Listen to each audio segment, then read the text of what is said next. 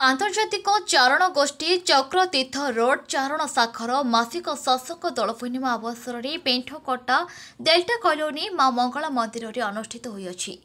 ଉକ୍ତ କାର୍ଯ୍ୟକ୍ରମରେ ଆନ୍ତର୍ଜାତୀୟ ଚାରଣ ଗୋଷ୍ଠୀର ସମ୍ପାଦକ ଗୋବିନ୍ଦ ଚନ୍ଦ୍ର ବେହେରା ଶ୍ରୀକ୍ଷେତ୍ର ମର୍ତ୍ତ୍ୟ ବୈକୁଣ୍ଠ ଏହା ଉପରେ ବିଶେଷ ଭାବରେ ଆଲୋଚନା କରିଥିଲେ। ଚାରଣ ପଣ୍ଡିତ ଅଧ୍ୟାପକ ଡକ୍ଟର ରବି ନାରାୟଣ ସାହୁ ଜଗନ୍ନାଥ ମହାପ୍ରଭୁ ସର୍ବରହସ୍ୟର ରହସ୍ୟ ଏହା ଉପରେ ଆଲୋଚନା କରିଥିଲେ। ମଣ୍ଡଳ ସଂଗଠକ ଚାରଣ ଲକ୍ଷ୍ମୀଧର ପ୍ରଧାନ ଚାରଣର ପାଞ୍ଚ ଚର୍ଚ୍ଚା ନିତ୍ୟ ସ୍ୱାଧ୍ୟାୟ ସତ୍ସଙ୍ଗ ଇଷ୍ଟପ୍ରୀତି ସଦାଚାରରେ ପ୍ରବୃତ୍ତ ଏବଂ ଅସଦାଚାରରୁ ନିବୃତ୍ତ। ଏହି ପାଞ୍ଚଟି କାର୍ଯ୍ୟ କଲେ ବାସ୍ତବରେ ସୁସ୍ଥ ସମାଜ ହୋଇପାରିବ ତାଙ୍କ ବକ୍ତବ୍ୟରେ କହିଥିଲେ।